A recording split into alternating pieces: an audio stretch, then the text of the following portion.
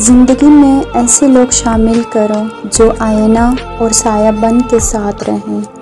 क्योंकि आईना झूठ नहीं बोलता और साया साथ नहीं छोड़ता